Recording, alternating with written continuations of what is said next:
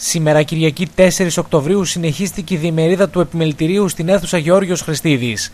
Αρκετοί επιχειρηματίες παρακολούθησαν τις τεχνολογίες στα εργαλεία εξωστρέφειας καθώς και τις ευκαιρίες χρηματοδότησης ως μοχλό ανάπτυξης.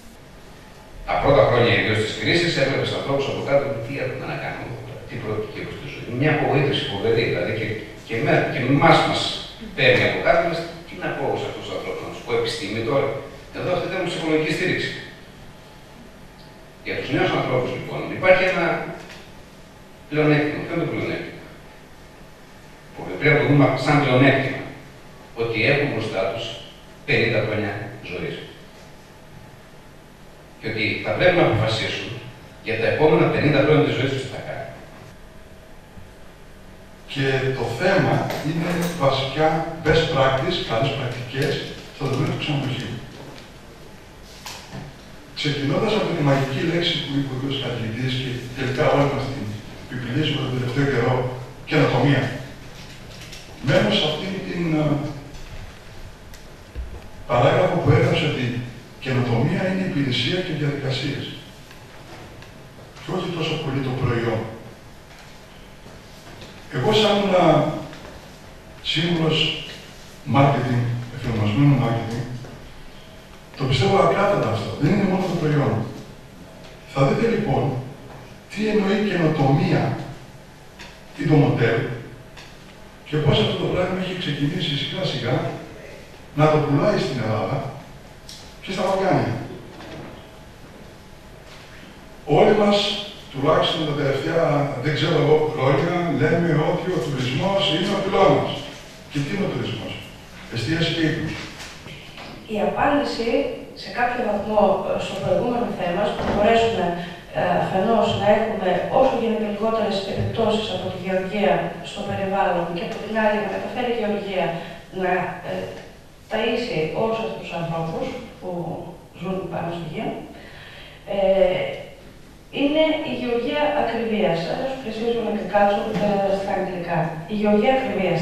Τι μας λέει, είναι πάρα πολύ σύντομο ο ορισμός της και εύληπτο, πιστεύω, από τον καθένα. Προχωρήσαμε αρκετά περίπου στα δύο χρόνια. Καλύψαμε γύρω στις 30 θέσεις απασχόλησης. Δημιουργήσαμε κάποια business plan σε ανθρώπους αυτούς και προσπαθήσαμε να ανοίξουμε και κάποιες κοινωνικές συνεταιριστικέ επιχειρήσεις. Ανοίξαμε μία στην πρώτη, όπου αναφέρεται πάνω σε προϊόντα, μακαρόνια κλπ. γνωστά γλυκά που κάνουν οι γυναίκες αυτές. Τέλος πάντων, παλέψαμε εδώ και δύο χρόνια να, να μπορέσουμε να δημιουργήσουμε θέσεις εργασίας.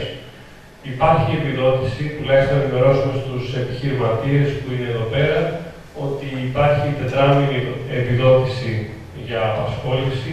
Δίδεται από το πρόγραμμα 18 ευρώ υπηρεσίως για 4 μήνες Άρα δηλαδή είναι αρκετά εποχιακό, λειτουργήσε το καλοκαίρι, εδώ και δύο χρόνια δηλαδή.